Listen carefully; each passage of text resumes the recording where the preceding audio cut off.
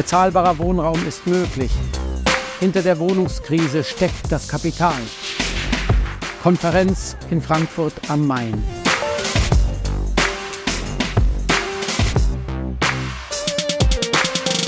Es gibt vielfache Konzepte und auch Instrumente, um für bezahlbaren Wohnraum zu sorgen. Die politische Linke, klein und groß geschrieben, Initiativen, Verbände, Gewerkschaften, die Partei wissen, wie man bezahlbaren Wohnraum schaffen kann. Und wir wollen jetzt heute ähm, darüber ähm, sprechen, wie das bereits in Barcelona und in Zagreb geht, wie es in Hessen, im Bund, auch in Berlin gehen sollte und was passieren muss, wie man es macht. Darüber wollen wir heute diskutieren und darüber berichten. Dazu haben wir vier Gesprächspartnerinnen heute Abend, und zwar zum einen Vanessa Valinho. Sie ist Leiterin der Wohnungsbauabteilung des Stadtrats von Barcelona, Barcelona en Comú. Ähm, schön, dass du da bist. Ja.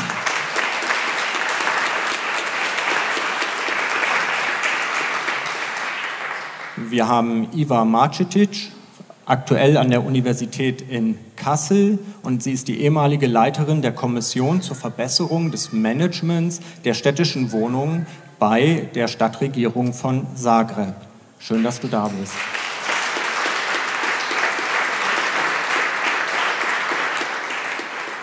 Dann Caroline Blaut von der Initiative Deutsche Wohnen und Co. enteignen. Schön, dass du da bist. Und und äh, Janine Wissler, Parteivorsitzende der Linken, Abgeordnete im Deutschen Bundestag für die Linke und hier in Frankfurt, glaube ich, sehr gut bekannt. Schön, Janine, dass du bei uns bist. Ja. Mein Name ist äh, Jan Schalauske. Ich bin einer von zwei Fraktionsvorsitzenden der Linken im Hessischen Landtag, gemeinsam mit Elisabeth Kuhler. Und ich bin auch der wohnungspolitische Sprecher unserer Fraktion und ähm, darf heute hier der Moderator sein. Die zentrale ähm, Idee unserer heutigen Diskussion heute Abend ist der Austausch von praktischen Erfahrungen und von Ausgangsbedingungen, von unterschiedlichen Erwartungen und im Grundsatz die Frage darüber, was Linke an der Macht, an der Macht, auch darüber könnte man diskutieren, tun müssen, um Wohnen zu verändern, um die Mieten- und Wohnungs- politische Situation spürbar zu verbessern.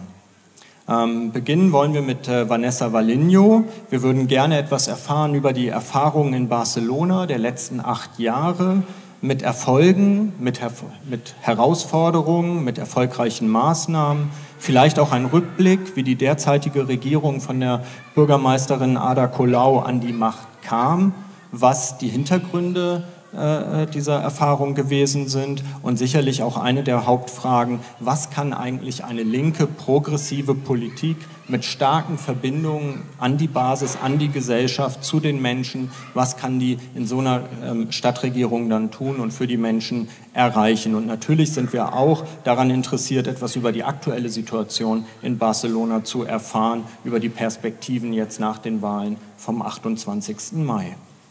Ja. Uh, Vanessa Valinho, du hast das Wort. Hello, uh, and thank you, thank you for the invitation to the Rosa Luxemburg. It, it's it's a, like a, a, a, very good thing being here, you know, trying to, to show and to share with you, with you all our uh, just a few ideas. So the main idea with this presentation is to what I'm trying to do. It's making a link between the housing situation in Spain and our arrival into the city government.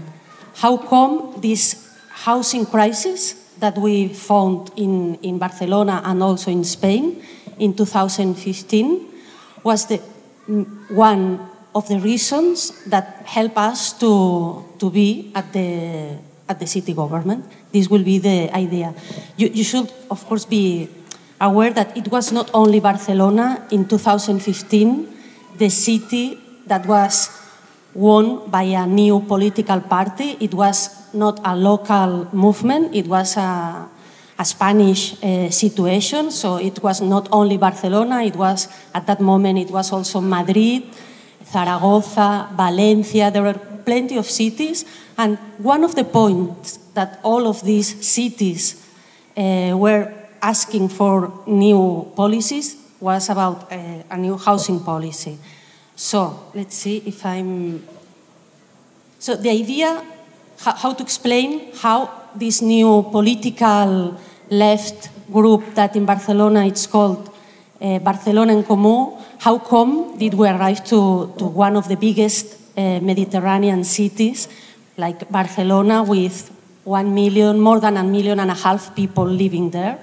One of the main reasons was this, uh, this the failure of the public housing system. It's not that we haven't invested money on housing, it's that we have been investing millions of euros in housing, but in housing in home ownership. So finally, we don't have, so the result of these uh, real estate policies is that we don't have this public or social or affordable, however you want to call it, uh, housing stock. It's not only a Barcelona situation, but as I told you, it's a, an Spanish situation. It means that we have less than 1%, well, no, less than 2% of the total of the housing stock, less than, one, less than 2%, it's uh, housing stock. It means that in, in Barcelona figures, it's like when we arrived to the city council, there were only 7,500 social dwellings for a city of 1 million, more than 1 million and a half, a city so beautiful, so attractive that we have a lot of tourists, a lot of um, arrival of financial capital, and only this 1% of housing, uh, social housing. And this was uh, not, not, as I told you, it was not a casualty. It's not like Spanish people, we don't like having uh, social homes, but it has been the result of a long history of housing and economical policies promoting this home ownership as a, as a, as a philosophy. So you will see, no? in, in red you have the homeowners, and in green the tenants, meaning that not, not tenants like yours tenant that you have uh, some securities, but we have a, a, private rental sector without like not is not is not your situation. It's a very unsecure tenant situation. So, but the, the good news is that, uh, as I told you, we have not like in, not only in Barcelona, in a lot of cities, we have a long history and long and strong history of social movements who were fighting against this uh, failure, this housing failure system. So the main demonstration, they started when the mortgage bubble burned, you remember, 2008, with all these uh, amounts of uh, evictions. So people start to, to demonstrate, to ask for new housing policies. This is Barcelona no está en venta. It's against all this mass tourism that are buying our city. So we have, we, we did have this social movement. Thanks to that social movements and thanks also that uh, we were most of us involved in these social organizations. The most known and the one that we were very involved was this Plataforma de Afectados por la Hipoteca. Maybe you know it's a platform of people affected by mortgage crisis. One of, her, one of the most visible faces of this social movement was or is our uh, actual mayor, actual today because tomorrow we will have another mayor, which is Ada Colau. This is the day of the inauguration. The idea of the, the picture was to show you that it was like a, like a very festive and very popular party it was not, I don't know how you celebrate, if, if you celebrate or not the, the change of mayor, but before in Barcelona, nobody celebrated because nobody really take care of this. But that day, in 2015, it was like a, a party and the street, and this is Ada Colau, the mayor. It was the first time that we had a woman being a mayor, and not eh, any woman, but a woman coming from a working family, not from the political Uh, so once, no, like we were related, no, involved in social movements, criticizing this housing situation, and suddenly we were responsible to fix it, to fix a situation that was created through a long history of economic and housing policies. I just write it down some situations. I, we don't need to, to go, just for you to have an idea. What does it mean, like coming from the street, from the social movements, and suddenly you arrive into power, and you need to solve, to fix all these uh, tremendous problems that we have. We don't need to, to list because it's unfinished. What did we try to do? The first thing, of course, is trying to work with, like in a human rights paradigm. It's like changing the way of housing policies. Before, it, they used to be very not open, very closed. Not, there was not easy, it was not easy to know who was taking care and why the decisions were taken. So we tried to, to enforce all these participatory plans and meetings. This is the picture, this is a good picture of the, like our housing plenary that we try to, to, to make it strong. It's just twice a year. So the idea is that twice a year, but we have different working groups to make it easy to like and, and work the participatory process.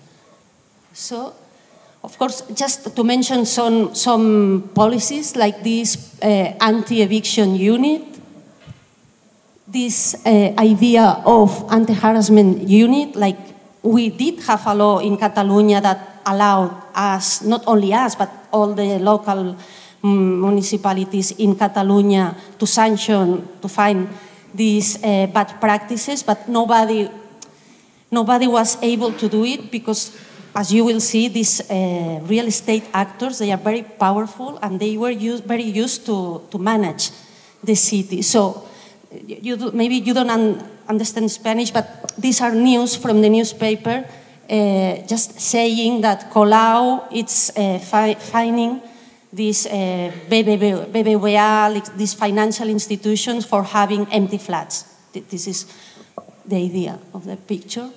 We also, of course, as you do in, in your country, we, we start to, to, to purchase uh, housing, but not only to, to have more uh, social dwellings, but also to, to avoid gentrification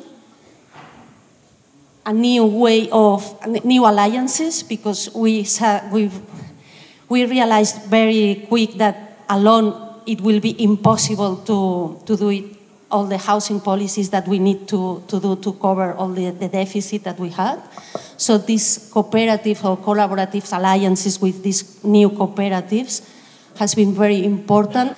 And also this kind of, this thing about, okay, it's not only like a municipal government taking care about the municipal competences, but trying also to change uh, national or state regulations in order to, to attend people's needs. That's you know, what, what we try to do. That, that these were the days where, when we achieved this rent regulation in Catalonia, which was a, a, a huge victory. It's only one year and a half victory, but we had uh, this rent regulation functioning. So this was the, the idea of the intervention was to show this kind of what happened. No, if if you if we have done such a good policies, why we are not having no, we, why we are not winning, why we are not like having all the majority people uh, asking us to to remain uh, running or governing the city.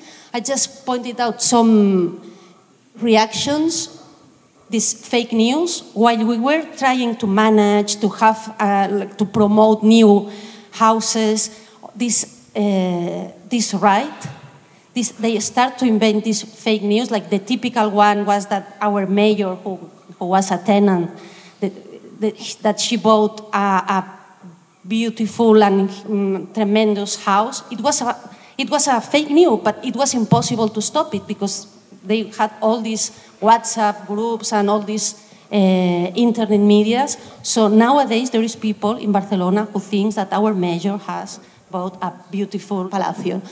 These 15 court cases Once we started to sanction, to find all these uh, landlords because of not complying the law, because of doing illegal uh, things, they react, uh, taking us to in front of the courts, which is something that you could think, ah, but what's the point? The point is that when the people start to think, oh, Mayor Colau, she has to go to court because there is this uh, financial power that says that she's uh, not doing well. So the people, they, they don't understand what's going on, but they think if she's going to the court, something is going on.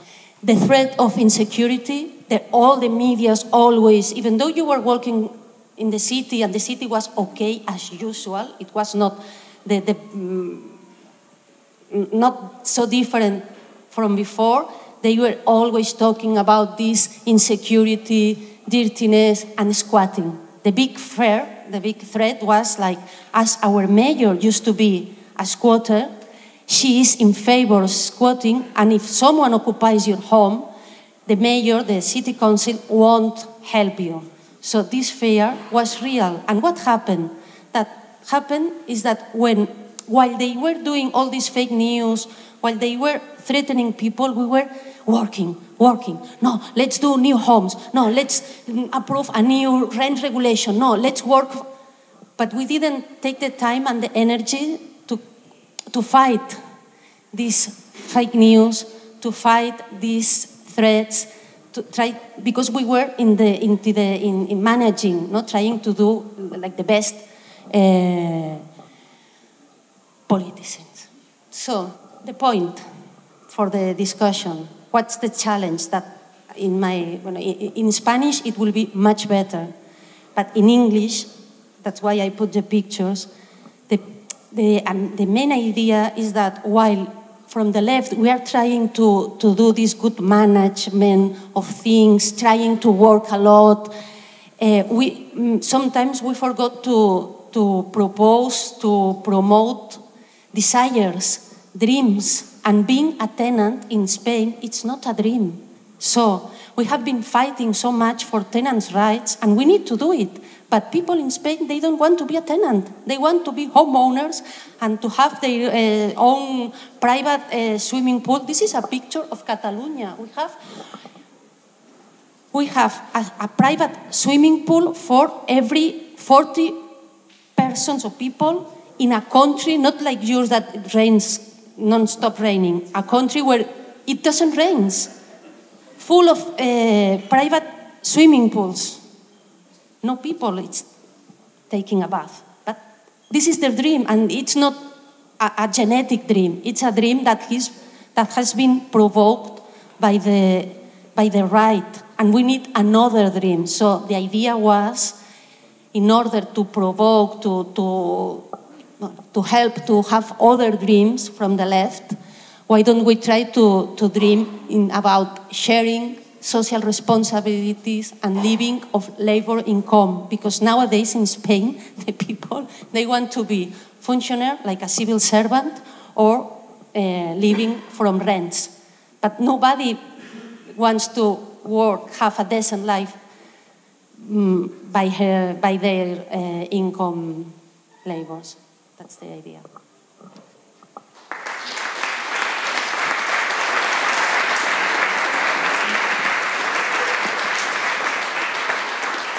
Vielen Dank für den spannenden Einblick ähm, für, die, der, für die Situation in Barcelona. Wir würden jetzt gerne von den Erfahrungen aus Barcelona ähm, mit, ähm, zu den Erfahrungen, die es äh, mit der Regierung in der Hauptstadt Kroatiens, in Zagreb, äh, äh, gibt. Dort regiert seit 2021 eine linksgrüne Koalition mit ähm, einem Bürgermeister Tomislav Tomašević, ich hoffe, ich spreche es äh, richtig aus, und ähm, Iva Marcetic ähm, soll, wird uns jetzt ähm, darüber berichten. Sie ist die ehemalige Vorsitzende der Kommission zur Verbesserung des kommunalen Wohnungswesens, das hatte ich bereits gesagt, und sie kann uns etwas sagen zu den Erfahrungen der kroatischen Linken an der Macht oder an der Regierung und insbesondere auch noch mal was über die Errungenschaften, die erreicht werden konnten für die Verbesserung der Situation von Mieterinnen in den kommunalen äh, Wohnungen.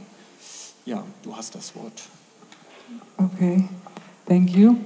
Um, first of all, I was while Vanessa was speaking, I had a little bit. Um, I, became a little bit emotional because it, what she was saying reminded me of the situation in Zagreb.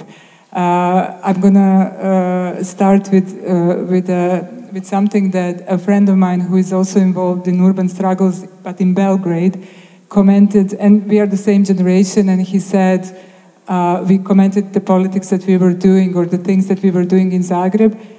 And he said, We are going to go into history as generation and as people who simply were so smart. And we didn't, and that, and nobody kind of uh, figured that we are so smart and nothing came out of it, um, in a way. So, in terms of um, first of all, in terms of our connections, I am also a bit emotional here because I met Vanessa just before, uh, just before the first elections in Barcelona, first elections where Ada Colau won. And back then, uh, we, uh, we were very infatuated with what Barcelona was doing because we were fighting in Zagreb for many years without really uh, seeing any improvements, with things going worse to, from bad to worse. Um, and then we started kind of, uh, uh, Barcelona was our impulse to go, to go into politics, to kind of be, to envision uh, a future or a politics that could uh, that could accommodate us and our uh, political desires and our dreams, if we are talking about uh, dreams now, which I think we should. So both me and together with the current mayor, we, we in the period between I think 2015 and 2017, uh, when we went for our first elections, we visited uh, Barcelona, I think, three times and spoke uh, with people who there won, uh, won um, elections. And what was wonderful about Barcelona also was that people who just got into the government found the time to talk to us and to show us and to really keep this spirit of internationality uh, going, which I really appreciate and have to say now on stage because Vanessa is here and I'm, and I'm sure there are hard times that they are going through in Barcelona now. So, uh, in terms of also what was mentioned here, how um, we, as a, my experience also is as a leftist option in power, uh, trying to figure out what is the best kind of solution for a certain problem, working to a lot on, on kind of ideas and concepts and methods on uh, how we can envision future, our urban future. All the while, the attacks are brutal and uh, attacks on this kind of government are uh, ongoing. But then it goes to show that um, that doing something is not possible. Uh, is not is not possible to be seen uh, especially, it's not possible to be seen from the position of municipal government quickly, um, and also the, uh, and also with its uh, limitations. I'm going to go right into Zagreb and my own experience. I was, as somebody who has been working in these urban and housing issues as an activist for years. My role uh, at the moment when we uh, won elections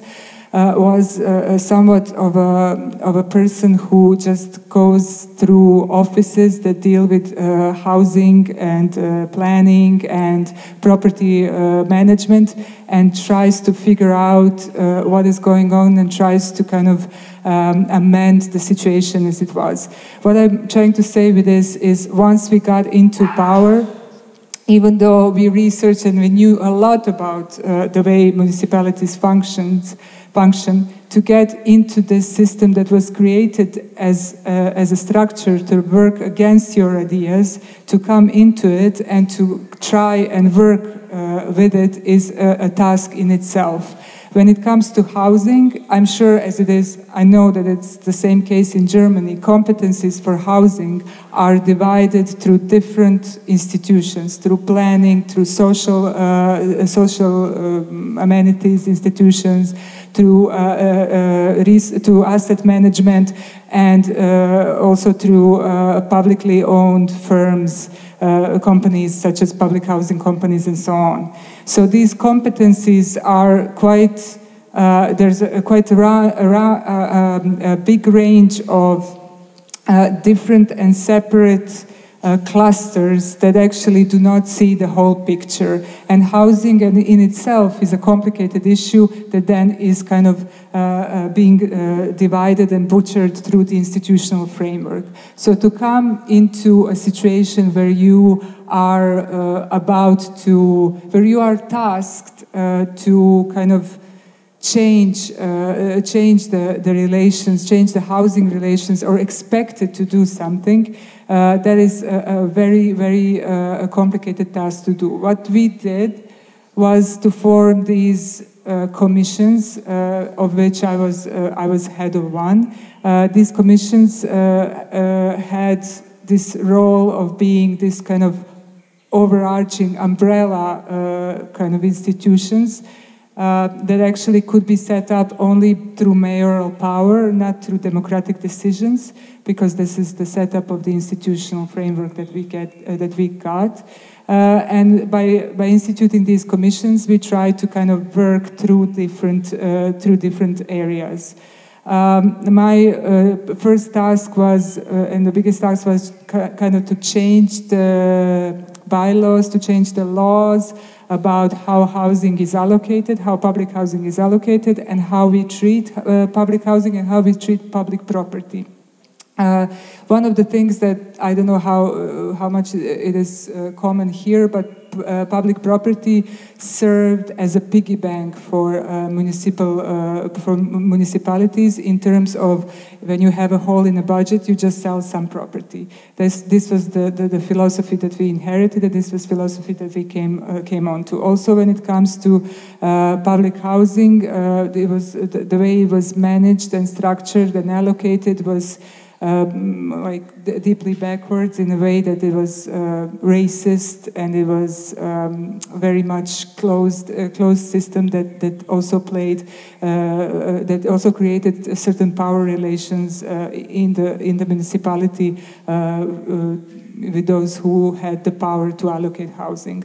So the things the thing that um, well, when I say the things that I have done, I have moved out of Zagreb uh, this uh, uh, couple of months ago, and I still have documents that are sitting in the legal uh, office in the city administration of Zagreb and not being resolved. So these are the slow processes. But what we did in this in this time, as I was a, a commissioner, so to say, is to forbid city to sell any. Um, uh, any of its apartment to make it into a, a bylaw of the city that the selling of apartment is not permitted uh, in, in any kind of circumstances except when you know uh, you are forced to do so by state.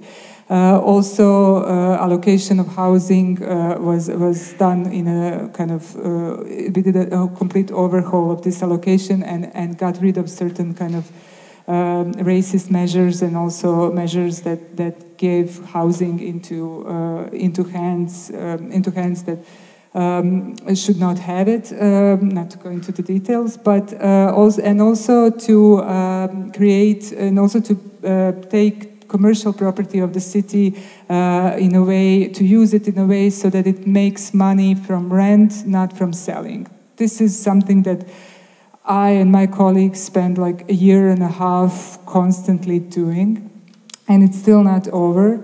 Uh, but this in itself uh, does not change material conditions of people living in the city. So, coming back to what Vanessa was saying about kind of working on things and it not just and, and being really busy and really thinking that you're on the right path of changing uh, circumstances it's like um, it, those things are not necessarily visible nor felt uh, in the wider kind of uh, population. And not only attacks from the right, but also this kind of a structural impairment uh, is something that, that can uh, bring us into a situation where we are not able to secure other uh, mandates and to, to continue with, uh, with working um, on these on these issues. When it comes also to housing, in terms in in the place where I come, Southeast uh, Europe. Uh, it is uh, in its tenure structure quite similar to what Vanessa was saying. It is mostly private home ownership,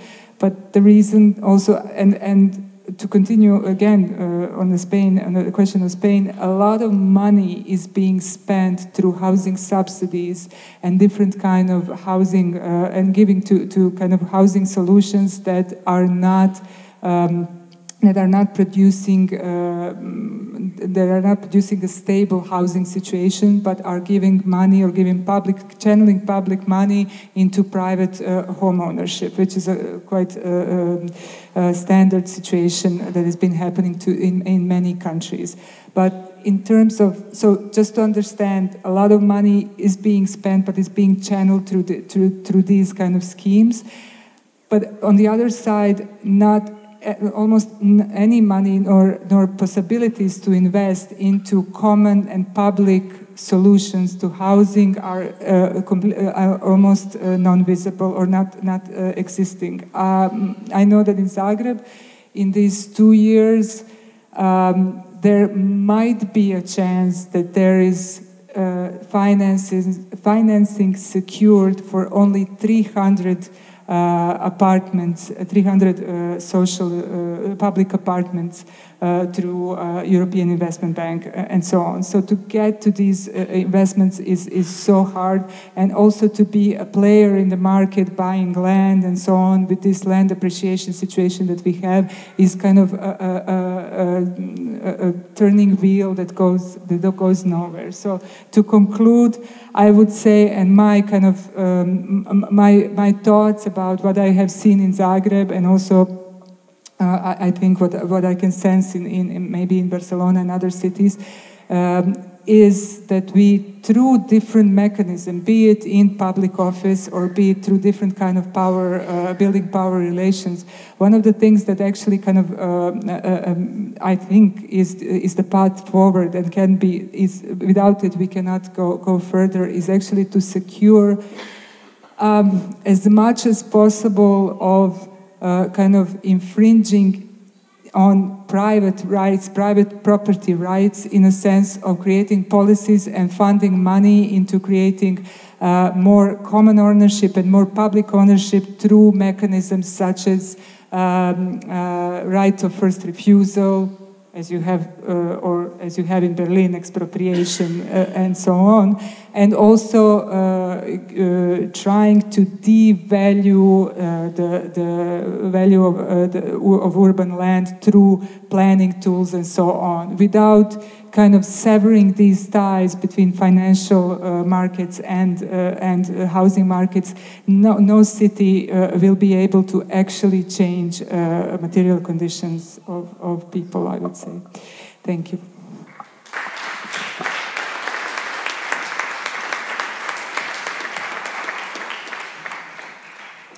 Ja, äh, viel, vielen Dank an äh, Iva. Also sind jetzt schon die richtigen Stichworte zur Überleitung äh, genannt äh, worden. Vom Kampf in Zagreb gegen den Verkauf äh, von ähm, öffentlichen Wohnungen und für sozusagen die Wiederaneignung auch äh, von öffentlichen Wohnungen, indem man öffentliches Geld da hinlenkt. Ähm, kommen wir jetzt drittens ähm, zu einem äh, Thema, das, glaube ich, auch in ganz äh, Deutschland auch für äh, Diskussionen ja ähm, äh, gesorgt hat, nämlich über den erfolgreichen Volksentscheid von Deutsche Wohnen und Co. enteignen ähm, der im September 2021 eine Mehrheit in Berlin ja gefunden hat und jetzt so ein bisschen die Frage steht, wie kann denn der, dieses, ähm, dieses mehrheitliche Votum dann auch wirklich umgesetzt äh, werden. Ich will vielleicht noch dazu sagen, dass ich glaube, der letzte ähm, die, die letzte erfolgreiche Volksentscheid für die Enteignung überhaupt in der Bundesrepublik war 1946 mit der Annahme der hessischen Verfassung. Und ich glaube, wir konnten uns viele Jahrzehnte gar nicht vorstellen, dass man in Deutschland mit einem Volksentscheid, also für die Vergesellschaftung von Wohnungskonzernen, Mehrheiten gewinnen kann. Also ein wirklich ganz, ganz tolles ähm, Ergebnis. Aber es steht natürlich die Frage, wie geht man mit der jetzigen Situation um? Und deswegen würden wir ähm, gerne von dir, Caroline, ähm, erfahren, wie seht ihr die aktuelle Lage, was sind eure Pläne, ähm, wie könnt ihr, wie verfolgt ihr jetzt das Ziel der politischen Umsetzung des äh, Volksbegehrens mit Blick auf die Vergesellschaftung ähm, von großen äh, Wohnungskonzernen? Vor dem Hintergrund sich jetzt auch nochmal veränderter politischer Rahmenbedingungen, sagt man ja auch in Berlin, haben sich die Regierungsverhältnisse verändert und genau, wir, genau, wir freuen uns auf deinen Beitrag. Gut, ja, äh, vielen Dank. Ähm Bevor ich äh, darauf eingehe, wie jetzt so die Lage ist und wie wir auf die weitere ähm, Umsetzung uns äh, vorbereiten, will ich nochmal hervorheben, was für eine äh, Erfolgsgeschichte das jetzt schon ist, äh, was da in Berlin erreicht wurde. Die äh, Entscheidung für diesen Volksentscheid hat sich ja nicht einfach nur gefunden, sondern der ist eine enorme Mobilisierung in der Stadt äh, vorangegangen.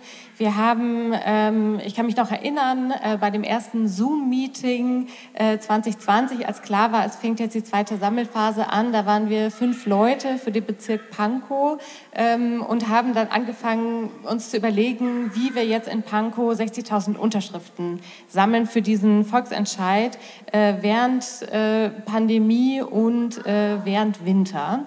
Ähm, und äh, haben uns dann immer weiter organisiert und zusammengefunden, nicht nur in Pankow, sondern in jedem Bezirk in Berlin und äh, waren dort so präsent in der Stadt, dass es fast nicht äh, möglich war, ähm, einen Spaziergang zu machen, ohne jemanden mit einer lila Weste an über den Weg zu laufen. Und ähm, selbst ich, als ich, glaube ich, 2018 zum ersten Mal mit einer Freundin über ähm, dieses damals noch Volksbegehren gesprochen habe, war irgendwie äh, von diesem Wort Enteignung so irritiert, dass ich auch dachte, das kann gar nichts werden, obwohl ich es total super finde. Und ähm, ich glaube, dass das möglich war, also diesen Diskurs in die Richtung zu verschieben und ähm, erstmals ja die äh, kapitalistische Eigentumsordnung auf diese Art und Weise in Frage zu stellen und äh, auf den Artikel 15 zu verweisen des Grundgesetzes ist schon mal ein enormer Erfolg und auch ein Zeichen dafür, dass es möglich ist, Mehrheiten zu gewinnen für progressive linke Politik wenn man die Belange der Leute in den Vordergrund stellt, der Menschen, die dort wohnen. Für den Volksentscheid haben über eine Million ähm, Berlinerinnen gestimmt. Äh, das sind zusammen mehr als SPD, Grüne und Linke bei dieser Wahl bekommen haben. Ja, jetzt äh, sehen wir uns in einer Situation, äh, wo wir so ein bisschen äh, zweigleisig fahren. Zum einerseits, also einerseits ähm, ist dieses äh, ist dieser Volksentscheid jetzt so auf der Ebene der Institutionen und der Politik es wurde von ähm, der äh, ja, jetzt nicht mehr aktuellen Berliner Regierung eine Expertinnenkommission eingesetzt, ähm, die ähm, darüber beraten soll, äh, wie Vergesellschaftung möglich ist. In ihrem Zwischenbericht äh, hat die Kommission schon deutlich gemacht, dass Vergesellschaftung möglich ist. Ähm, das wussten wir als Initiative auch schon vorher. Ähm, wir hätten uns auch gewünscht, dass es einen anderen Weg gegangen wäre nach der Wahl und dass direkt ein äh, Gesetz erarbeitet ähm, werden würde. Aber nun gibt es mal, nun mal diese Kommission und auch wir äh, als Kampagne haben uns entschieden, uns daran äh, zu beteiligen. Wir sind sehr dankbar für die ExpertInnen, die dort in der Kommission ähm, weiter daran arbeiten, wie man Vergesellschaftung genau umsetzen kann in Berlin. Und äh, wir als Kampagne begleiten das auch intensiv und auch wir ähm, profitieren von diesem Wissen, was da äh, generiert wird. Ähm, diese Kommission wird nun ihren Abschlussbericht äh, vorlegen in äh, knapp zwei Wochen und ähm, wir sind überzeugt, dass da nochmal äh, bestärkt wird, was auch schon im Zwischenbericht äh, gesagt wurde, nämlich dass Vergesellschaftung möglich ist. Und ähm, dann ist natürlich unsere Forderung an ähm, die Regierung von Berlin, dass ähm, der Volksentscheid auch umgesetzt wird. Ja, so richtig gut ähm, sieht es damit nicht aus, denn wir wissen auch, äh, was im aktuellen Koalitionsvertrag steht. Und da steht äh, nun mal dieses äh, Rahmengesetz. Ähm, wir als Kampagne und ich denke auch äh, die Berliner Stadtgesellschaft äh, ist sich im Klaren darüber, dass dieses Rahmengesetz äh, eigentlich nur eine Verschleppungstaktik ist. Da steht nichts wirklich drin, dann da stehen nur so allgemeine Richtlinien drin. Sowas braucht es nicht wir äh, alles, was wir äh, brauchen, um diesen Volksentscheid umzusetzen, steht in Artikel 15 und äh, wird auch in dem Abschlussbericht der Expertinnenkommission stehen. Dieses äh, Rahmengesetz ist also total unnötig. Und äh, wir wissen auch, dass Kai Wegner ein entschiedener Gegner der ähm, Vergesellschaftung ist und äh, glauben auch nicht, dass er deine, seine Meinung da ändern wird. Er hat sogar öffentlich gesagt, dass er äh, das von ihm mit verabschiedete Rahmengesetz äh, verklagen würde, ähm, beziehungsweise anzweifeln würde, damit es äh, vor dem Verfassungsgericht landet. Ja, ich habe ja schon gesagt, wir fahren zweigleisig. Äh, von daher, wir warten nicht einfach nur, was passiert und begleiten diesen institutionellen äh, Prozess. Denn ich habe ja schon gesagt, wir sind auch in den Kiezen äh, verankert und machen dort vor Ort auch weiter Arbeit in der Stadtgesellschaft. Und ich glaube, das ist auch essentiell wichtig, dass wir in Kontakt bleiben mit den MieterInnen dieser Stadt, dass wir zeigen, es gibt uns weiter, wir arbeiten weiter, wir überlassen das nicht einfach der Politik, sondern wir sind weiter äh, präsent.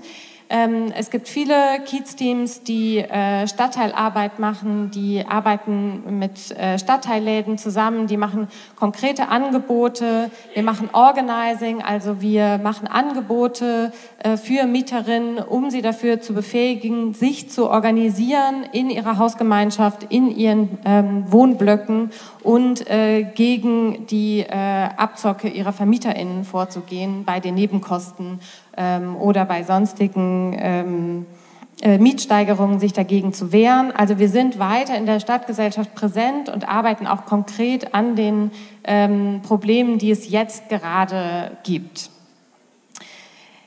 Ja, äh, wie geht es weiter? Also ähm, wir als Kampagne sind weiterhin total äh, stark. Wir haben regelmäßige Treffen und wir sind einfach gewachsen durch diese Zeit, äh, die wir auf der Straße zusammen verbracht haben und in der wir uns das Wissen angeeignet haben, ähm, wie Vergesellschaftung umgesetzt werden kann in Berlin.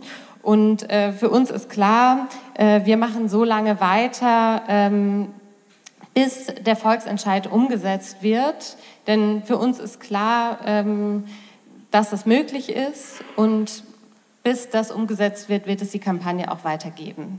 Danke.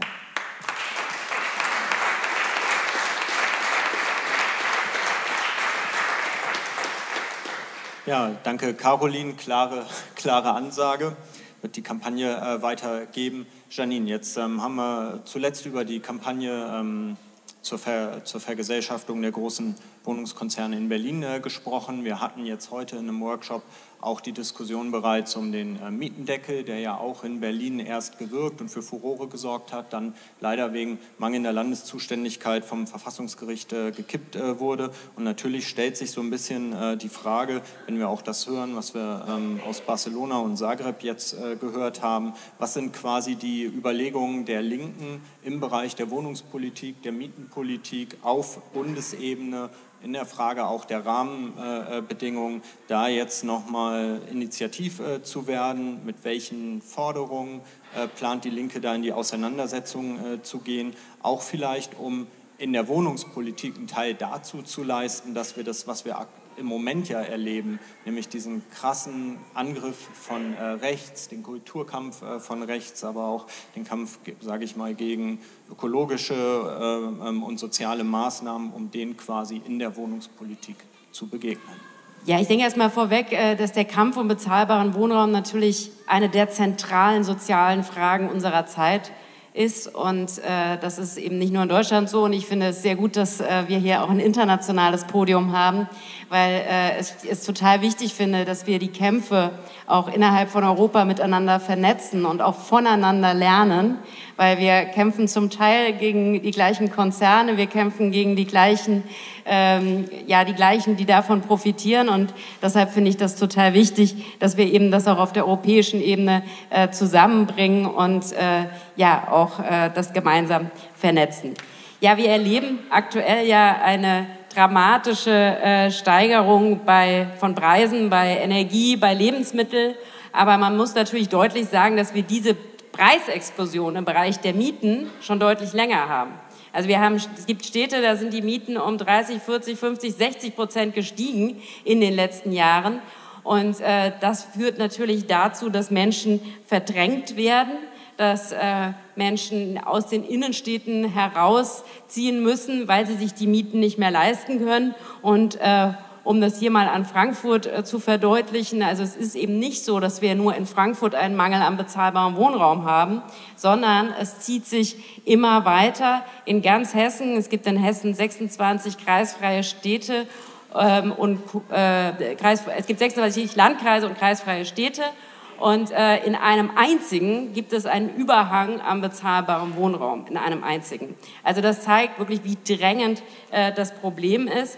Und ähm, aktuell, ich will, da, will ich nur erwähnen, dass wir ja auch ein Problem haben, dass viele neue Mietverträge in den letzten Jahren mit sogenannten Indexmieten abgeschlossen wurden. Das heißt, dass die Mieten an die Inflation gekoppelt sind und sehr viele Mieterinnen und Mieter in den letzten Jahren wirklich Mieterhöhungen bekommen haben von 5, 6, 7 Prozent und dass dieses Jahr auch wieder ansteht. Also von daher äh, denke ich, dass äh, die Frage des bezahlbaren Wohnraums der Mieten äh, natürlich äh, total entscheidend ist. Und was ist das Problem? Natürlich, das Problem ist, dass große Wohnungsbestände der Kommunen, der Länder, des Bundes in den letzten Jahren und Jahrzehnten verkauft wurden, privatisiert wurden und äh, das eben an Konzerne, die die Mieten in die Höhe treiben. Und deswegen finde ich das auch so wichtig zu sagen, dass Konzerne wie Deutsche Wohnen oder Vonovia, die schaffen keinen Wohnraum.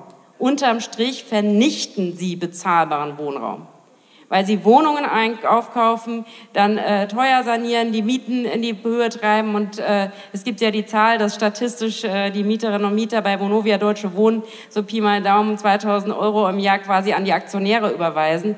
Das heißt, die Wohnungen werden äh, nicht größer, äh, die werden äh, oft nicht, nicht besser, sondern es findet eben diese Verdrängung statt und deswegen war natürlich auch der Volksentscheid äh, Deutsche Wohnen und Co. enteignen so zentral wichtig, weil er an die Ursache des Problems gegangen ist und nicht nur geschaut hat, wie können wir die Symptome bekämpfen, sondern an die Ursache des Problems gegangen ist und das ist die Eigentumsfrage äh, und das sind äh, die Eigentumsstrukturen auf dem Wohnungsmarkt und dass diese großen Konzerne eben den Markt dominieren. Und äh, ich finde, dass ich finde, denn, deshalb finde ich das so wichtig, da ranzugehen, weil natürlich, was die Ampel macht, und die Ampel ist ja auch in diesem Bereich ein Totalausfall, äh, wie in vielen anderen Bereichen. Ich meine, Sie haben äh, den Kreis der Wohngeldbezieherinnen also Bezieherinnen und Bezieher haben Sie ausgeweitet. Das halten wir nicht für falsch, natürlich nicht, weil Menschen damit geholfen wird. Aber es geht eben gerade nicht an die Ursache ran, sondern am Ende werden zu hohe Mieten über die Allgemeinheit subventioniert, statt an die Mieten ranzugehen und zu sagen, die müssen wir stoppen, die müssen wir deckeln, sondern äh, jetzt äh, subventioniert man diese hohen Mieten. Und die Ampel ist ein Totalausfall im Bereich des Mieterschutzes, im Bereich äh, der äh, Politik für die Mieterinnen und Mieter. Das haben wir, finde ich, gerade auch sehr aktuell äh, gesehen dann der Frage des, äh, der Wärmewende und des Gebäudeenergiegesetzes, wo ja die Frage der Mieterinnen und Mieter einfach eigentlich nicht vorkommt. Ja, wo wir ja gefordert haben, die Modernisierungsumlage muss abgeschafft werden, die Mieterinnen und Mieter müssen geschützt werden, weil natürlich muss der Gebäudesektor seine Klimaziele erfüllen. Also auch wenn die Sektorenziele jetzt dank der Ampel abgeschafft werden, ist es natürlich notwendig, dass wir im Gebäudesektor massive Einsparungen haben. Aber da wir ja auch wissen, auch der CO2, äh, also der CO2-Ausstoß ist nicht gleichmäßig auf die Bevölkerung verteilt, darf es eben am Ende nicht auf die abgeladen werden, die ohnehin schon wenig haben. Und ein Totalausfall ist natürlich äh, die Ampel auch im Bereich ähm, der Schaffung von bezahlbarem Wohnraum. Neubauziel verfehlt. Die Sozialwohnungen, jede zwölfte Minute, jede, alle zwölf Minuten fällt eine Sozialwohnung aus der Bindung. Und äh, das ist natürlich ein äh, riesiges Problem. Und gleichzeitig schwadroniert ja dann die FDP davon, eben Wohneigentum stärker fördern zu wollen. So nach dem Motto, du kannst dir deine Miete nicht mehr leisten, dann kauf dir doch ein Haus. Also und äh, jetzt ja auch die Forderung im Raum steht nach der Abschaffung der Grunderwerbssteuer zum Beispiel, äh, was ganz interessant wird, die ja äh, den Ländern komplett zugutekommt. Also das heißt eine, eine Politik eben genau nicht für die Mehrheit der Menschen, die auf bezahlbaren Wohnraum und auf bezahlbare Mietwohnungen äh, angewiesen sind. Ja, die äh, Bundesregierung hat das Neubauziel verfehlt, aber ich finde auch zentral, dass wir als Linke deutlich machen, dass das Credo von Bauen, Bauen, Bauen eben nicht die Lösung der Probleme auf dem Wohnungsmarkt sind. Und das sehen wir ja. In einer Stadt wie Frankfurt wird jede Menge gebaut und es wird sehr konsequent am Bedarf vorbeigebaut.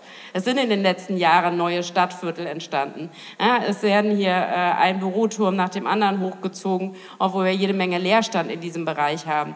Also es wird gebaut, aber eben am Bedarf vorbei. Alleine hier dieses Universitätsareal, dieser Campus ist das beste Beispiel dafür, äh, wo es ja komplett dem Land Hessen gehört hat und äh, wo jetzt eben hochpreisiger Wohnraum entsteht äh, und eben nicht die Möglichkeit genutzt wurde, hier bezahlbaren Wohnraum zu schaffen. Aber natürlich sind wir auch aus ökologischen Gründen dagegen, weil wir wollen ja nicht die letzte Fläche versiegeln.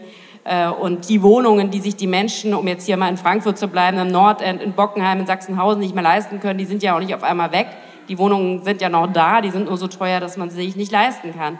Und deswegen finde ich zentral, dass wir auch sagen, bauen, man können nicht der Vernichtung von bezahlbarem Wohnraum hinterherbauen, sondern wir müssen in den Bestand eingreifen und äh, das ist das Zentrale. Und da ist natürlich der erste Punkt die Frage Mietenstopp, die Frage eben ein wirksamer Mietendeckel. Jan, du hast es eben gesagt, Berlin hat den eingeführt, das Bundesverfassungsgericht hat gesagt, ist nicht verfassungswidrig, aber ihr dürft es auf Lande, Landesebene nicht machen. Also muss ja die Konsequenz sein, dass wir einen bundesweiten Mietendeckel haben müssen, selbstverständlich. Ja, das brauchen wir und zwar auch einen, der auch in einigen Städten dann eben und in einigen Städten mietensenkende Wirkung hat und Mieterinnen und Mieter schützt, weil die Mietpreisbremse einfach komplett oder ja, ziemlich also einfach unwirksam ist, weil es viel zu viele Lücken hat, für Neubau nicht gilt, weil äh, ja auch nur für Gebiete mit angespanntem Wohnungsmarkt, was dann die Länder definieren und teilweise sehr schräg definieren, was dann auch dazu führt, dass immer mehr möblierte Wohnungen vermietet werden. Also alle diese, äh, diese, diese Ausnahmebestände dann eben auch genutzt werden. Deswegen finde ich das erstmal das Zentrale, nicht hohe Mieten subventionieren durch Ausweitung der Wohngeldempfänger, sondern rangehen an äh, die hohen Mieten. Das Zweite natürlich die Frage der Sozialwohnungen, des sozialen Wohnungsbau, sträflich vernachlässigt. Ich will auch hier eine Zahl aus Frankfurt nennen, weil es ja so ist, dass in Deutschland oft der Eindruck entsteht, sozialer Wohnungsbau, das sei quasi nur für eine ganz kleine Gruppe, so sage ich mal, die Ärmsten der Armen. So ist es nicht. In Frankfurt gab es vor ein paar Jahren eine Statistik, die besagt hat, dass 48 Prozent der Frankfurter Bevölkerung ihres Einkommens nach Anspruch auf eine Sozialwohnung hätte. Ja, 48 Prozent und auf öffentlich geförderten Wohnraum zwei Drittel der Frankfurterinnen und Frankfurter. Das heißt also, wir haben sowieso schon einen Mangel an Sozialwohnungen. Wenn die die alle eine beantragen würden, äh, dann wäre, äh, wäre es äh, wäre überhaupt nicht möglich, weil die Zahl der Sozialwohnungen sich natürlich auch in einer Stadt wie Frankfurt mehr als halbiert hat und ähm, auch immer mehr Sozialwohnungen verloren gehen, als neue entstehen. Ich kenne jetzt die Zahl von diesem Jahr nicht. Äh, vorletztes Jahr waren es, glaube ich, ganze 88 Sozialwohnungen, die die Stadt Frankfurt äh, geschaffen hat. Ja? Also bei, was natürlich angesichts der Bevölkerungszahl wirklich ein schlechter Witz ist. Ich finde einen weiteren Punkt zentral, und das sind die Bodenpreise. Wir erleben eine massive Bodenspekulation. Und ähm, auch äh, hier um die Ecke ist in einer Straße sind äh, zwei Häuser verkauft worden. Äh, hat sie irgendwie nickt, zwei Häuser verkauft worden und äh, dann haben sich die Bodenrichtwerte verdreifacht, wenn ich mich richtig erinnere. Und äh, das zeigt ja, dass wir einfach ein riesiges Problem haben, dadurch, äh, dass die Bodenpreise und die Spekulation mit Grund und Boden, der ja nun mal nicht vermehrbar ist, der auch nicht besser wird, der auch nicht äh, irgendwie ja, sondern der einfach rein aus Spekulationsgründen mehr wird, weil er eben knapp ist, dass wir da ran müssen, dass es dringend notwendig ist, diese Bodenspekulation, ähm, die äh, auch ähm, die, äh, die eben einzu, äh, die einzugrenzen. Und ähm, deswegen, also eigentlich muss man sagen, diese ganzen Bodenspekulationsgewinne muss man komplett wegbesteuern, ne? weil ich meine, da hat ja niemand was für getan. Also diese, das müsste man komplett wegbesteuern. Das Problem ist halt teilweise, dass die öffentliche Hand sich selber daran beteiligt, indem sie Grundstücke zu horrenden Preisen verkauft und äh, damit eben äh, natürlich die Bodenspekulation in die Höhe treibt.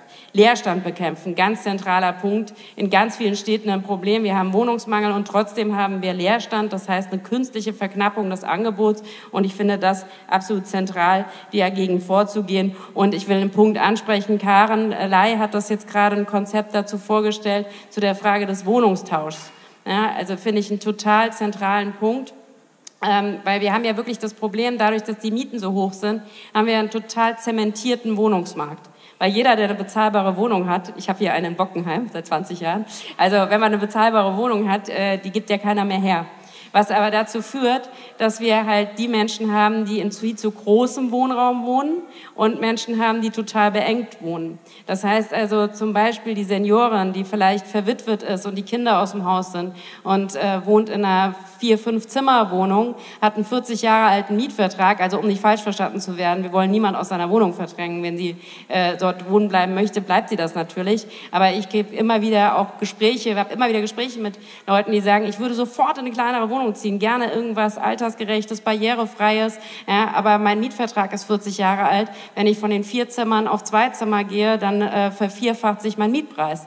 Riesenproblem und gleichzeitig wohnen dann die jungen Familien in der studentischen Zwei-Zimmer Zimmerwohnung. Und dafür haben wir jetzt auch gerade einen Antrag in den Bundestag eingebracht, das zu erleichtern, dass Wohnungstausch möglich ist, um eben wirklich an den Bedürfnissen, dass eben nicht so viel Wohnraum auch verloren geht und dass nicht bei jeder neuen Mietvertrag wieder etwas draufgeschlagen wird. Ja, ähm, ich finde gerade zentral auch angesichts der steigenden Mieten, angesichts der steigenden äh, Nebenkosten die Frage der Verbot von Zwangsräumungen, Verbot von Strom- und Gassperren und natürlich auch, äh, dass unser Ziel sein muss, Obdachlosigkeit zu überwinden. Da gibt es ja das mit dem Housing First äh, Konzept und eben wirklich Wohnraum zu schaffen. Und einen letzten Punkt, den ich noch ansprechen will, um es jetzt nicht zu lang zu machen, äh, finde ich auch noch mal einen Blick drauf zu werfen auf die Frage des barrierefreien Wohnraums.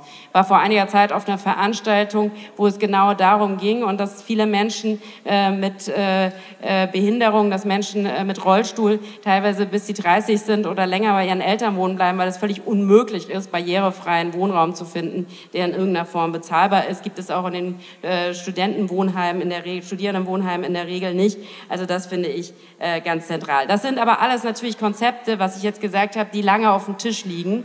Und ich will an der Stelle auch sagen, dass es natürlich auch gut ist, dass diese Vorschläge, dass diese Punkte auch immer wieder durch eine laute Stimme in die Parlamente getragen werden. Finde ich, muss man an der Stelle aussagen. Ejob Yilmaz ist unser wohnungspolitischer Sprecher im Frankfurter Römer, Jan Schalauske im Hessischen Landtag, Karl Ley im Deutschen Bundestag. Und ich glaube, dass es wirklich total wichtig ist, dass ihr so eine laute, hörbare Stimme seid für die Mieterinnen und Mieter, dass ihr immer wieder den Finger in die Wunde legt und einfach da auch einen Druck macht. Und das halte ich für total zentral. Und äh, natürlich, finde ich, müssen wir die Frage diskutieren, wie schaffen wir es? Und da bin ich bei dem, was du auch über Deutsche Wohnen gesagt hast, ähm, aber auch was wir eben gehört haben aus Zagreb und aus Barcelona, wie schaffen wir es, einen Druck zu entfalten? Weil der Druck der Gegenseite ist ja so krass hoch.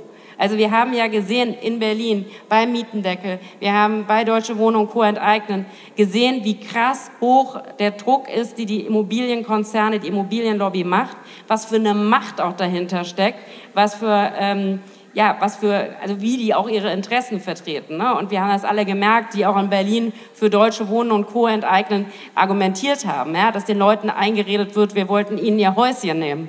Ja, also da Leute gesagt haben, ja, und dann enteignet ihr mich, ja, wo wir gesagt haben, also solltest du nicht im Besitz von mindestens 3000 Wohnungen sein, dann wirst du auch nicht enteignet. Also, aber das ist ja auch das Problem, dass Leute oft Angst um ein Eigentum haben, was sie gar nicht haben. Ja, also auch bei der Vermögensteuer, wo ja auch niemand betroffen ist. Und äh, deswegen äh, glaube ich, ist das eigentlich der zentrale strategische Punkt. Wie können wir diesen Druck eben entfalten? Und meine Sorge ist, um das noch auszusprechen, dass wir gerade eine Zuspitzung von Verteilungskämpfen innerhalb der Klasse erleben, sage ich mal. Ja, die Menschen fühlen sich in Konkurrenz zueinander gesetzt durch den Mangel an Wohnraum. Aber natürlich wissen wir, das Problem sind nicht äh, Geflüchtete, das Problem sind nicht Menschen, äh, die einwandern. Das Problem ist der Wohnungsmarkt. Das Problem sind diese Strukturen, die wir haben. Und ich finde es total zentral, auch an dieser Stelle deutlich zu machen, es geht hier um eine Klassenfrage.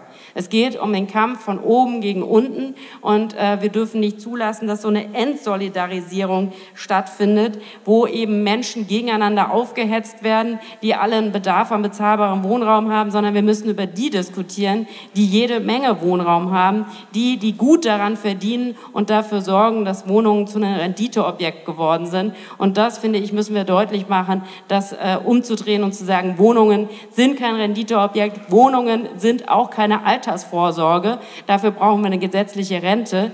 Wohnungen sind ein Zuhause für Menschen und deshalb müssen wir sie dem Markt, dieser Profitlogik entziehen und dafür sorgen, äh, dass sie eben auch dem Gemeinwohl unterstellt sind.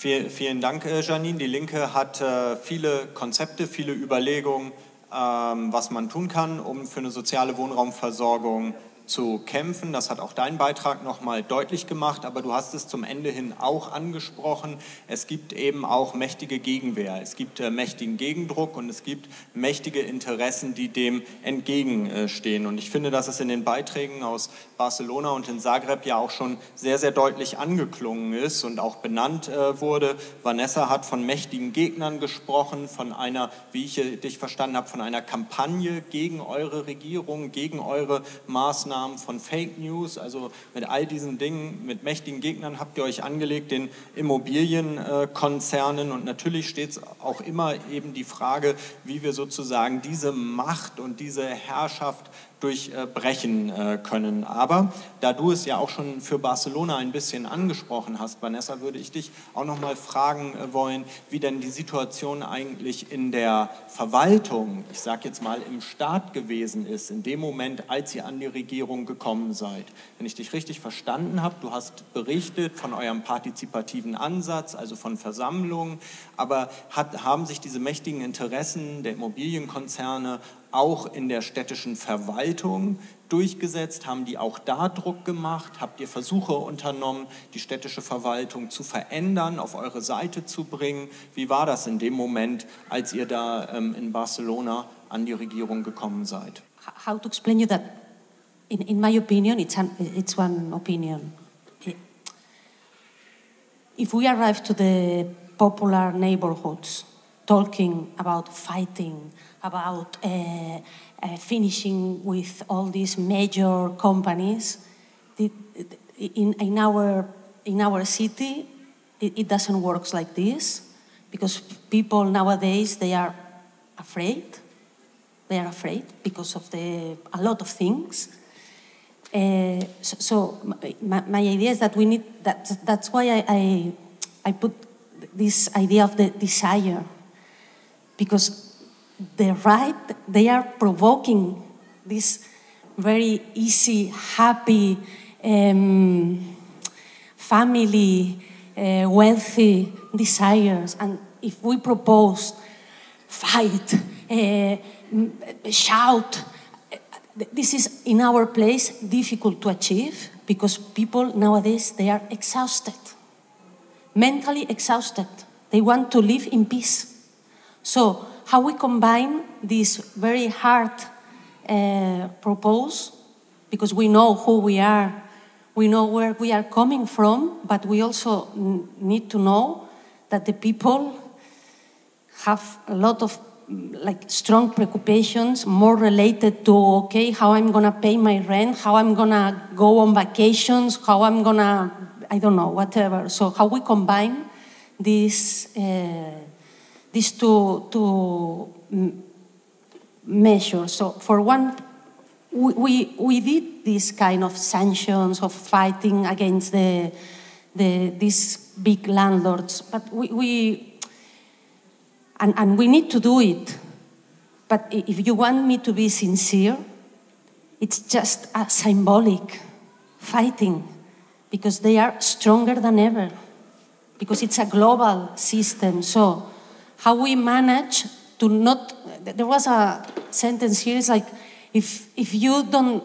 One of our problems is that people had such a high, like difficult, like they dream that when we arrive into power, their life will change the second day. The, the expectatives. So we need to provoke uh, realistic ex- expectatives. Capitalism is himself finishing with himself, no? But it's still working. So we cannot um, uh, suggest that if we win, life will become a party, life will be, become a fight. Well, life not. If we win, life will be very, not, not so different. It will improve a little bit, but it's a long path to, to, to change the real life of the people. Like, for instance, imagine after eight years, putting all of our efforts, we provided, we provided 4,000, 4,000, eight years, 4,000 new social homes. It was a tremendous effort, but 4,000 in a city of, of one million and a half people, it's like just in, in bueno, it's a very small uh, change for the. So, how we manage to combine this very symbolic, this need to change the rules of the system, but not selling these expectatives that when we arrive into power, we cannot achieve. That, that's the idea.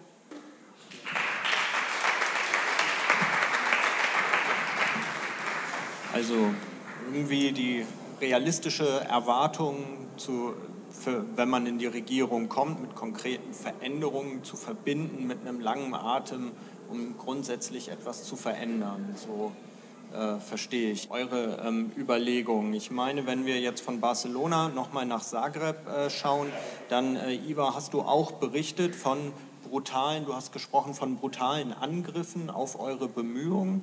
Das heißt also, ähm, auch ihr hattet mit einer heftigen Gegenwehr von Immobilienkonzernen oder auch von der politischen ähm, Rechten zu kämpfen. Du hast auch ähm, viel berichtet darüber, wie ihr versucht habt, auch in der Verwaltung an Einfluss äh, zu gewinnen. Deswegen wäre jetzt für mich nochmal die Frage an dich, wenn es darum geht, diese marktorientierten Dinge zurückzudrängen hin zu einer sozialen, öffentlichen äh, Wohnungsversorgung. Wie würdest du da nochmal die, die Gegenreaktionen und den Einfluss der mächtigen Immobilienunternehmen und Immobilienkonzernen dann in Zagreb und auch ähm, die Auseinandersetzung eurer Politik mit denen einschätzen?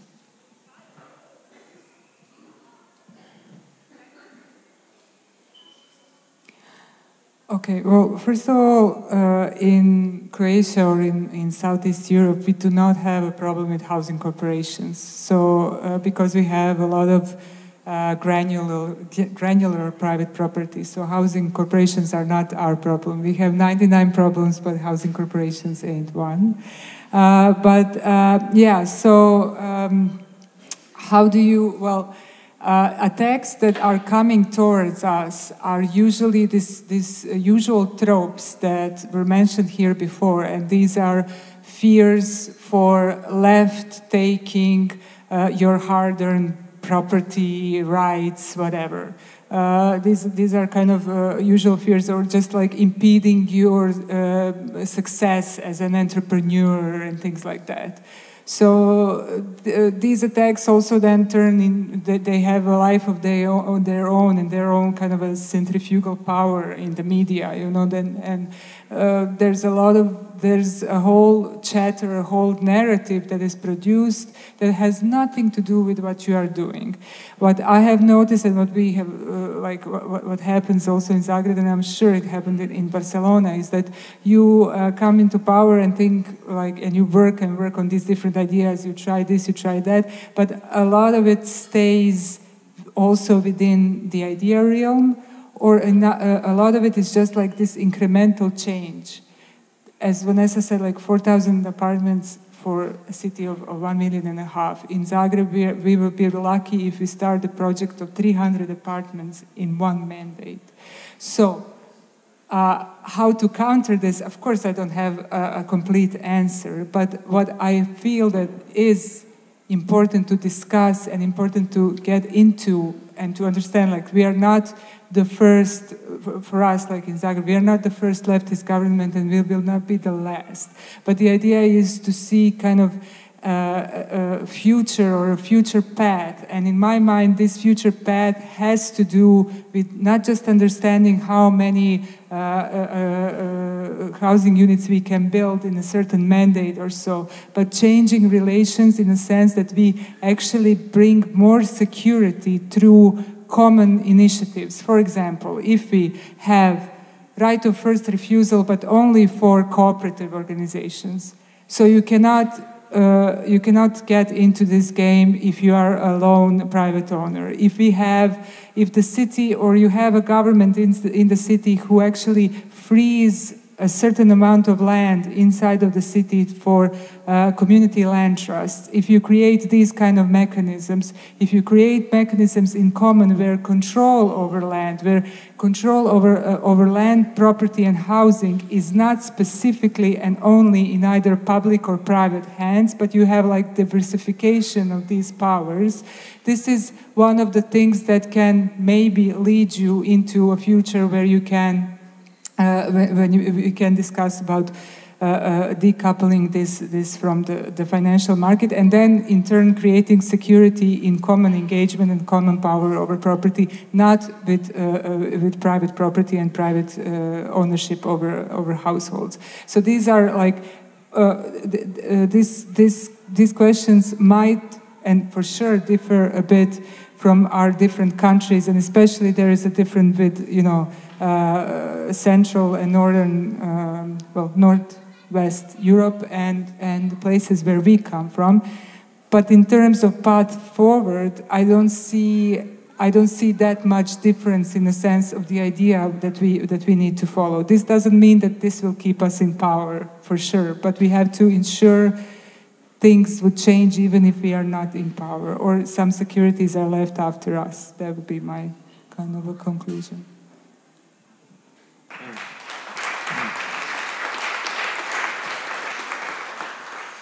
Also wenn ich euch äh, richtig verstanden habe, geht es im Grundsatz auch ein bisschen eine äh, Gegenvision, eine andere Vorstellung durchzusetzen. Nicht nur allein sich mit mächtigen Unternehmen anzulegen, das ist die Situation in Berlin, sondern mit der Konzeption, wie leben die Menschen, wie wohnen sie, wie arbeiten sie, welche Werte zählen da und da sozusagen der vorherrschenden Ideologie von ähm, Besitz und Eigentum äh, Idee von Solidarität und Gemeinschaft ähm, entgegenzusetzen. Vielleicht auch eine wichtige, eine kann eine wichtige Antwort sein mit dem, in dem Kulturkampf, den wir jetzt ja überall auch ähm, in Europa ähm, entgegenzutreten haben. Ich würde trotzdem die Frage nochmal nach den mächtigen wirtschaftlichen Interessen, mit denen man sich äh, anlegt, auch äh, mit Blick auf die Kampagne Deutsche Wohnen und Co. enteignen nochmal äh, stellen und auch dich, Caroline, nochmal ähm, fragen, wie schätzt du den Einfluss ein dieser großen Wohnungskonzerne auf die Politik? Ich meine, einiges hast du schon angedeutet, aber auf die Politik in Berlin, aber auch in der Auseinandersetzung mit eurer Kampagne. Janine hat ja auch schon ein bisschen Stichworte von Angstmache gesagt. Die Leute nehmen einem was weg. Das haben wir auch gehört aus Barcelona und äh, Zagreb. Also warum? Wir haben diesen Volksentscheid. Wir hatten eine, sagen wir mal, Mitte-Links-Regierung einige äh, Jahre. Wir hatten diese wahnsinnige Mobilisierung auch von unten, von der du äh, beschrieben hast. Und warum ist es trotzdem so schwer, das gegen diese mächtigen ökonomischen Interessen auch durchzusetzen? Ja, äh, das sind äh, natürlich total äh, mächtige und vor allem auch finanziell äh, starke Gegner, mit denen wir es da zu tun haben. Ähm, wir haben auch jetzt äh, gesehen, dass äh, der ähm, ja, dass die CDU eine große Parteispende aus der Immobilienlobby erhalten hat. Die hat auf jeden Fall äh, den äh, Wahlkampf äh, sehr gut mitfinanziert. Ähm, aber ich muss auch sagen, natürlich sind das große Gegner, aber das ist im Moment nicht das, ähm, und das ist auch quasi unser, äh, unser Endgegner, dem wir uns dann, äh, also dem wir uns dann stellen müssen. Aber im Moment sind wir ja an einem Punkt, wo es um die politische Umsetzung geht. Und wir, ich kann es nur noch mal betonen, wir haben das geschafft, die Leute davon überzeugen, dass die Enteignung in ihrem Sinne ist. Ich habe unzählige Gespräche gehabt auf der Straße, auf den Haustüren. Da wollten die Leute schon weitergehen und sagen, nein, enteignen, da bin ich auf jeden Fall dagegen. Und dann ist man ins Gespräch gekommen, hat über ähm, die Wohnsituation geredet. Viele Leute haben mir erzählt, dass sie selber ähm, Angst haben, ihre Wohnung zu verlieren, dass sie Angst haben, sich ihre Miete nicht mehr leisten können, dass sie enorme Mietsteigerungen haben oder dass die Wohnsituation unerträglich ist.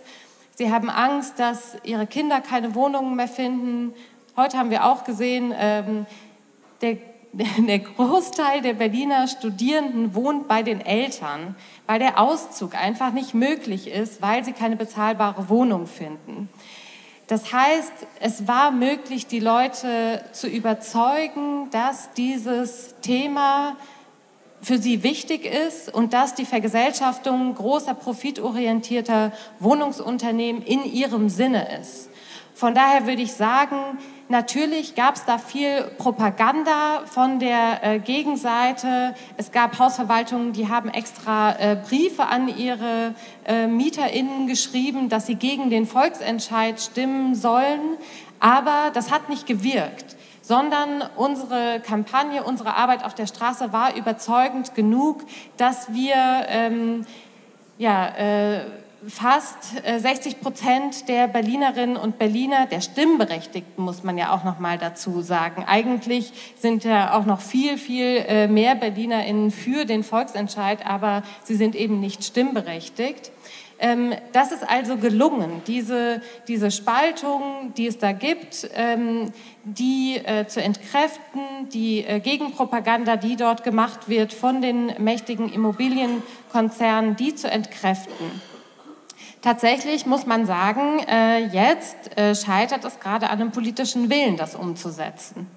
Und ähm, wir arbeiten total äh, gut ähm, mit auch ähm, Personen aus der Linkspartei äh, zusammen. Wir äh, begrüßen das natürlich auch äh, total, dass die äh, Linkspartei sich für eine gemeinwohlorientierte Wohnungspolitik einsetzt und die Linkspartei ja auch ähm, offensiv äh, sich für die Umsetzung des Volksentscheides äh, eingesetzt hat.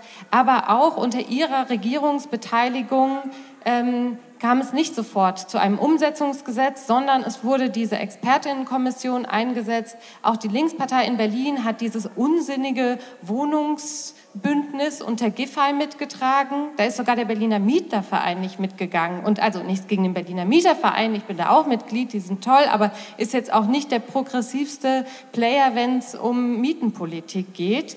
Ähm, von daher frage ich mich auch, ähm, wie groß ist da die Unterstützung wirklich auch von der ähm, Linkspartei an der Parteispitze? Wie gesagt, mit der Basis arbeiten wir sehr gut zusammen, auch bei den Grünen und auch ähm, die SPD-Basis hat entschieden ähm, auf ihrem Landesparteitag, dass sie sich für also die Basis hat entschieden, dass der Volksentscheid umgesetzt werden soll.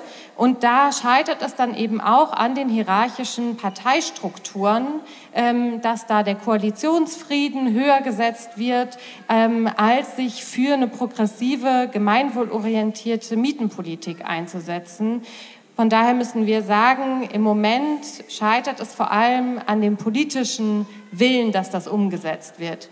Es ist natürlich jetzt mit der Mitte-Rechts-Regierung kein Deut besser geworden. Wir, also wir als Kampagne, aber auch ich äh, persönlich als äh, Berlinerin ähm, leide immer noch unter dem Schock, dass wir jetzt äh, eine CDU-Regierung an der Macht haben in Berlin. Und ähm, das erfüllt mich auch mit Angst, wie es die nächsten Jahre weitergeht in Berlin, nicht nur wohnungspolitisch, sondern ähm, auch was kulturelle Freiräume oder äh, sichere Verkehrswege äh, angeht. Ähm, da kommt auch noch einiges Unschönes auf uns zu.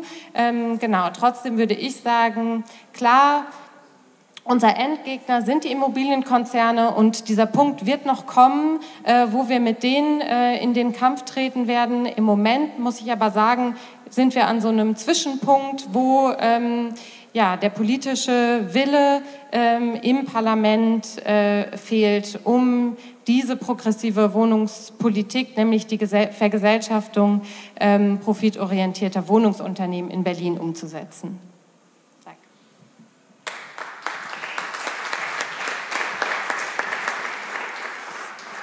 Ja, den äh, Ball äh, von äh, Caroline Janine würde ich gleich an dich auch nochmal weitergeben, an den politischen Willen, der Linken sozusagen liegt es nicht, sicher nicht, wahrscheinlich nicht, dass der ähm, Volksentscheid bisher noch nicht umgesetzt worden ist. Ähm, ist ja auch gefragt worden, wie die Parteispitze die, die Sache sieht. Ich habe da eine Vorstellung davon, wie du das einschätzen wirst. Das wirst du uns sicher gleich sagen, aber vielleicht nochmal aus Sicht auch der, der Linken. Ähm, was kann man denn aus den bisherigen Auseinandersetzungen um den Volksentscheid, den erfolgreichen Volksentscheid Deutsche Wohnen und Co. enteignen und seine bisher noch nicht erfolgten Umsetzungen auch als Linke nochmal lernen aus dem Zusammenspiel zwischen der Partei und äh, der Bewegung, aber auch einer Partei, die dann an der Regierung ist und der äh, Bewegung? Ja, also um das vorweg zu sagen, also die Parteispitze der Linken ähm, und der Parteivorstand hat natürlich äh, Deutsche Wohnen und Co. enteignen unterstützt. Äh, wir haben ja auch selber mit Unterschriften gesammelt und ich halte das auch wirklich für einen unglaublichen Erfolg. Ich an den, glaube ich, nicht so viele Leute in dieser Deutlichkeit zumindest geglaubt haben, dass das wirklich möglich ist. Also, dass man jetzt einen Mietendeckel zur Abstimmung stellt und dafür eine Mehrheit kriegt, okay, aber dass man für so eine Forderung, also nach einer Enteignung der Immobilienkonzerne, eine so auch nicht mal knappe, sondern so deutliche Mehrheit bekommt, das ist total, also das ist großartig und deswegen, also hat die Linke das ja auch leider als einzige Partei, aber eben auch unterstützt. Und äh, ich finde auch, dass dieser Erfolg äh, zeigt, dass man für eine sehr grundsätzliche, ja, für eine antikapitalistische Politik auch wirklich breite Mehrheiten erreichen kann, wenn man eben genau an den Bedürfnissen der Menschen anknüpft, an ihren Problemen anknüpft, aber eben auch deutlich macht, dass wir Gesellschaft nicht dadurch verändern, dass wir immer nur kleine Stellschräubchen drehen, sondern dass wir wirklich an die Ursachen der Probleme rankommen. Und das sind eben in ganz vielen oder eigentlich an allen Punkten die Macht- und Eigentumsstrukturen, die wir grundlegend verändern müssen, um die Probleme unserer Zeit zu lösen. Ob das bezahlbarer Wohnraum ist, ob das die Klimakrise ist, ja, ob das äh, viele andere Themen sind. Und äh, das finde ich erstmal zentral. Ja, ist richtig. Natürlich fehlt der politische Wille. Der fehlte in der jetzigen Regierung in Berlin, das ist ja ganz offensichtlich. Der fehlte auch in der letzten, weil SPD und Grüne natürlich das äh, und insbesondere die SPD überhaupt nicht umsetzen wollten. Und vielleicht ist auch äh, die Geschichte von Deutsche Wohnen und Co. enteignen auch nochmal ein Grund und Anlass, um einfach die Debatte auch zu führen, wie äh, welche Grenzen und Beschränktheiten gibt es vielleicht auch äh, von Parlamentarismus, von äh, Regierung? Und ähm, wie können wir, wie kann man einen Druck entfalten, ja, dass man eben solche Dinge dann auch durchsetzen kann, weil natürlich wir wollten das durchsetzen. Die Kommission hat ja jetzt auch gesagt, das ist möglich, also zumindest jetzt in diesem Vorgutachten. Und äh, deswegen äh, finde ich äh, das absolut äh, zentral, dass wir eben diese Debatte führen, wie man auch den Druck äh, da erhöhen kann. Ich will auf einen Punkt nochmal eingehen, den Vanessa auch gesagt hat, diese Frage der Angst. Weil ich glaube, das ist doch, also Deutsche Wohnung und Co. enteignen war jetzt ein total großer Erfolg, aber ich finde, für, also jetzt auch wenn wir uns Mieten oder auch nicht fehlende Mieterinnenbewegungen jetzt anschauen, äh, ist, glaube ich, die Frage der Angst absolut zentral, dass Menschen äh, sich total klein fühlen, dass Mieterinnen und Mieter ihre Rechte überhaupt nicht kennen, dass Wohnungsbesichtigungen wie Castings äh, ablaufen. Ich habe jetzt gehört, dass es Vermieter gibt, die Lebensläufe von ihren potenziellen Mieterinnen und Mietern äh, fordern, äh, weil die ja auch alles mit denen machen können. So. Also die Leute haben ja das Gefühl, ich bin froh, wenn ich irgendwie überhaupt unter den 300 Bewerbern ausgewählt werde, zahlen dann aus Verzweiflung noch viel Abstand Abstand für irgendwelchen Müll, der in der Wohnung bleibt. Ja, und jeder denkt, ich will es mir bloß nicht verscherzen. Und äh, deswegen glaube ich, ist das auch absolut wichtig, dass wir auch immer deutlich machen, Mieterinnen und Mieter haben Rechte und ihnen Menschen auch die Angst zu nehmen, dass sie quasi dem so ausgeliefert sind. Äh, das finde ich auch wichtig. Diese Meldung heute hatte ich auch gelesen. Ähm, ich hatte es unter der Überschrift gelesen, ähm, Hotel Mama immer beliebter. Ähm, äh, dass immer mehr junge Menschen immer später zu Hause bei ihren Eltern ausziehen, was aus meinem, also ich denke, wir uns einig sind, dass jetzt nicht nur an der Beliebtheit äh, dieser äh, des Zuhausewohnens ist, sondern vor allem einfach schlicht und daran liegt, äh, also schlicht und daran liegt, dass Menschen sich es halt nicht leisten können, weil Studierende, Auszubildende, ja auch Berufsanfängerinnen und Anfänger einfach diese hohen Mieten überhaupt nicht zahlen können und das äh, Kern des Problems ist. Ja, ich finde die Frage, wie können wir äh, sowas wie so eine Angst, Resignation, vielleicht Ohnmacht auch überwinden. Also es gibt sie ja, diese erfolgreichen Kämpfe, auch im Bereich äh, Mieten, im Bereich bezahlbaren Wohnraum, wo Privatisierungen verhindert wurden, wo ähm, verhindert wurde oder wo erreicht wurde, dass die Stadt ein Vorkaufsrecht, Vorkaufsrecht wahrnimmt, wo ähm, ähm, ja auch Kämpfe jetzt lokal irgendwie gegen Vonovia und andere gewonnen wurden. Also ich, nur diese Kämpfe finden natürlich naturgemäß sehr stark auf so einer lokalen Ebene statt. Und ich glaube, es ist wichtig, das viel stärker auch zu verallgemeinern und ähm, viel ja, viel, viel stärker auch einen Austausch darüber zu haben, weil solche Geschichten uns ja auch allen äh, den Mut geben, dass es sich eben lohnt zu kämpfen. Und auch wenn der Gegner sehr, sehr, sehr stark ist und du hast es ja angesprochen, also natürlich ist das Problem, dass äh, die Berliner CDU Spenden aus der Immobilienwirtschaft bekommt, aber sie ist natürlich auch nicht die einzige Partei, die diese Spenden bekommt, sondern wir einfach sehen, dass der, die Vernetzungen zwischen Immobilienbranche und der Politik einfach total stark sind, was natürlich auch mit ein Grund für den fehlenden politischen Willen ist, dass man sich sich nicht anlegen will. Und ich finde, das ist Kern des Problems, äh, dass eben man die ganzen Versprechungen, die man auch im Wahlkämpfen macht, und wir wollen die Mieterinnen und Mieter schützen, und äh, dass das halt alles nicht funktioniert, wenn man nicht bereit ist, sich eben auch mit Profitinteressen anzulegen, sich mit mächtigen Konzernen anzulegen.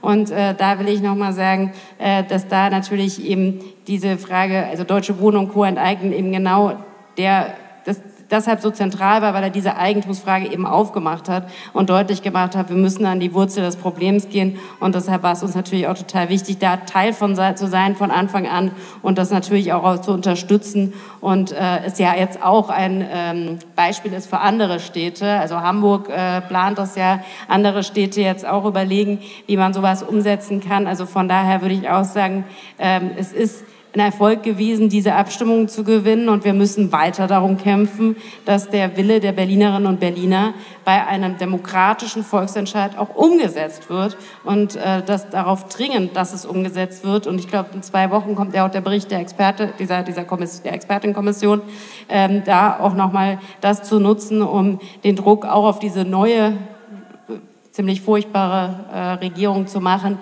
dass der mit dem Regierungswechsel sich der Mehrheitswille und die, das demokratische Votum in Berlin nicht geändert hat. So. Jetzt äh, wäre der Zeitpunkt äh, gekommen, wo wir nochmal an euch äh, äh, geben äh, würden. Ich glaube, ein bisschen Raum wäre noch für Nachfragen oder auch für Diskussionsbeiträge.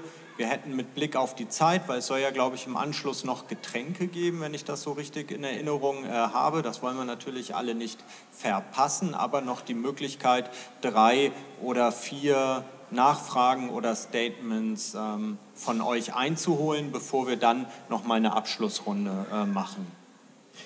Äh, ich würde nur sehr, sehr gerne direkt noch mal Vanessa fragen, und auch nochmal ganz, ganz herzlichen Dank, dass du in dieser schwierigen Situation, wo es in Barcelona ja gerade ganz, ganz viel zu besprechen gibt, äh, dass du zu uns hier auf unsere Konferenz gekommen bist. Und du hast vorhin, äh, und da habe ich die ganze Zeit gedacht, hm, ich will wissen, äh, du hast vorhin gesagt, morgen ist Ada Kalau nicht mehr Bürgermeisterin. Und natürlich würde mich jetzt, und ich glaube, das geht auch manchen anderen hier im Saal, auch nochmal interessieren, was ist da gerade jetzt aktuell entschieden worden? So, the, the situation is we had this election. Our plenary, the local plenary, it's formed by 41 councillors. The leftist, if you include the Socialist Party as a left party, we got 24 councillors. If you include the Socialist, who did a, a right campaign, but the, the, the name is, is the Socialist. Uh, so, Socialist, Esquerra Republicana, which is a nationalist, a Catalan, but leftist party, that they want the independence of Catalonia, but they are from also from the left, and Barcelona en Comú. So we got these 24. But we are, none of us has the majority alone to achieve the, the mayor. And the party from the national right Catalan, party, which is, well, nothing for you, it's Junts per Catalunya, he was the most voted list. You understand the situation? So what's going on at that moment? At that moment, what's going on is that we from the left, we are not uh, achieving the agreement because, uh, because the, the socialist one, he wants to be the mayor, even though we have almost in a draw situation. Ada Colau has just le- less than uh, 100 votes than the socialist, but he wants to be the mayor. You know, the typical. And so there is also another point is that because at the national, at the Spanish level, we have this coalition, this national election that